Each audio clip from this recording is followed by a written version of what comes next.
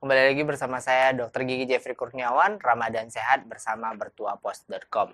Kali ini kita akan membahas yang namanya manfaat dan khasiat dari buah korma pada saat bulan suci Ramadan. Tentu Anda pada saat bulan suci Ramadan harus dianjurkan untuk memakan yang manis-manis. Saya contohkan adalah salah satunya adalah kurma. Kurma dapat memberikan efek bagi kesehatan gigi dan mulut, terutama adalah gigi.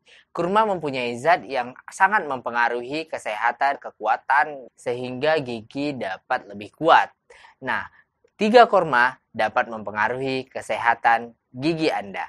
Kembali lagi bersama Dr. Gigi Jeffrey Kurniawan, bertuapos.com, Ramadan Sehat.